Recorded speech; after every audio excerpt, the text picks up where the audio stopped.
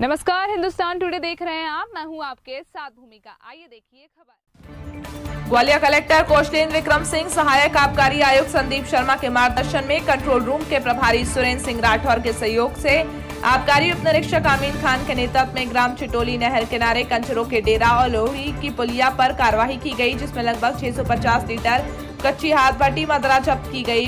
5000 kilogram गुड़लहान जब्त किया गया, जिसकी कुल अनुमानित कीमत दो लाख पैंसठ हज़ार रूपया की गई। युक्त गुड़लाहान को मौके पर ही नष्ट किया। कुल तीन अज्ञात प्रकरण कायम हुए।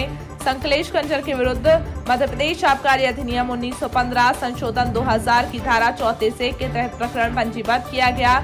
इस कार्रवाई में प्रधान आबकारी आरक्षक सुरेश सरल, बलवीर प्रसाद कटारे, रवि बगैर रोशन लाल निबोरिया आबकारी आरक्षक और चौधरी बटालियन डबरा के प्रधान आरक्षक यदुनाथ सिंह शैलेन्द्र तिवारी आलोक सिंह जादौन गौरव शर्मा आरक्षकों की सराहनीय भूमिका रही संवाददाता कमल साहू की रिपोर्ट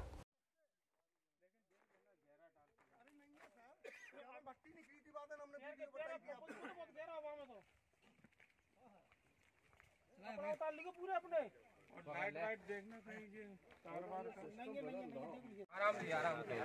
थोड़ा नीचे पकड़ के नीचे ताकत लगा के ले नीचे लो लो।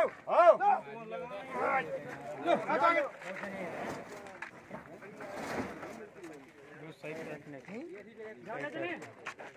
लो ताकत ले आ जाओ ले आओ नहीं पास है ये तो। चल आप कूलर रख जाओ। छोड़ जा भोला। है बाय मत बोलो बाय मत बोलो। मैं कौन सी है?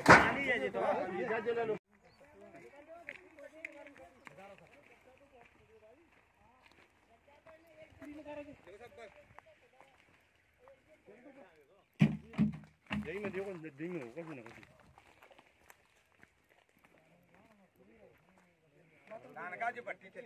हाँ हाँ भट्टी चढ़ी है वो कहाँ छुपाए इनने? वो कहाँ छुपाए?